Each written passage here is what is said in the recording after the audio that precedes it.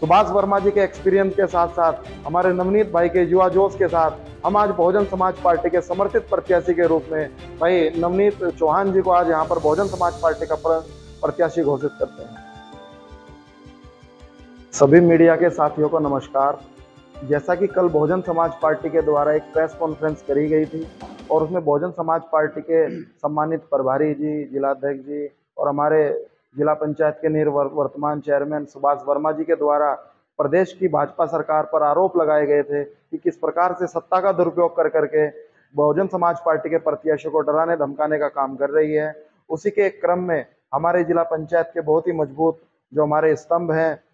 चौधरी सुभाष वर्मा जी, उनके पर्चे को निरस्त करने का काम आज यहाँ पर भारतीय जनता पार्टी की सरकार ने किया है। मैं आप सब लोगों को ये कहना चाहता हूँ कि त्रिस्तरीय पंचायत चुनाव में बहुजन समाज पार्टी बहुत मजबूती के साथ चुनाव लड़ने का काम कर रही है। आप लोगों ने देखा कि हम सब लोगों ने बहुत मेहनत के साथ बहुजन समाज पार्टी के सभी कार्यकर्ता इस चुनाव को लड़ने का काम कर रहे हैं, जिससे कि भारतीय जनता पार्टी की सरकार बौखला गई है, कि उनको पता है, उनके एलआईयू की रिपोर्ट भी ये कहती है कि बहुजन समाज पार्टी का यहाँ पर चेयरमैन बनने को जा रहा है। मैं आप लोगों से ये कह देना चाहता हूँ कि बहुजन समाज पार्टी का कोई भी कार्यकर्ता, कोई भी पदाधिकारी झुकेगा नहीं और पूरी मेहनत के साथ काम करता रहेगा और इस भाजपा की सरकार को वोट के माध्यम से वोट की चोट देने का काम करेगा। आप लोग देखेंगे कि जब 28 तारीख को, जब 28 तारीख को रिज़ल्ट आएगा तो बहुजन समाज पार्टी के ज़्यादा से ज़्यादा सदस्य जीत करके आएँगे और बहुजन समाज पार्टी का ही बोर्ड बनने का काम होगा। मैं आप सभी मीडिया के साथियों को ये कह देना चाहता हूँ कि माननीय सुभाष वर्मा जी का पर्चा जो निरस्त हुआ है, आप लोग उसको ये ना समझे कि सुभाष वर्मा जी चुनाव नहीं लड़ रहे हैं। सुभाष वर्मा जी के साथ साथ उनके सपुत्र श्री नवनीत चौहान जी का भी उन्होंने पर्चा दाखिल किया हुआ था।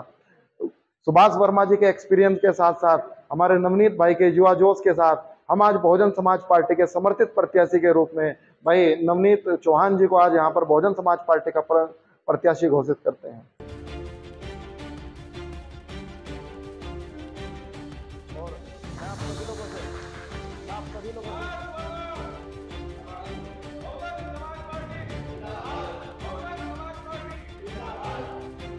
मैं आप सभी लोगों से कहना चाहता हूँ, अपने सभी कार्यकर्ताओं से ये अपील करना चाहता हूँ कि आप लोग इस भारतीय जनता पार्टी की तानाशाही से ना झुकते हुए, इसके सामने ना डरते हुए, आप लोग बहुत मजबूती के साथ बहुजन समाज पार्टी को और भी ज़्यादा ताकत के साथ उभारने का काम करें और बहुजन समाज पार्टी भी आप लोगों के साथ, तन मन धन के साथ खड़ी हुई है। हमारा हर एक कार्यकर्ता इस भारतीय जनता पार्टी को मुँह तोड़ जवाब देने के लिए सड़क से लेकर के संसद तक लड़ाई लड़ने का काम करेगा। और मैं भाई नवनीत चौहान जी के उज्जवल भविष्य की कामना करता हूँ और पूरा बहुजन समाज इनको चुनाव लड़ाने का काम करेगा और निश्चित तौर पर आप रिज़ल्ट में भी देखेंगे कि भाई नवनीत चौहान चुनाव जीतने का काम करेंगे।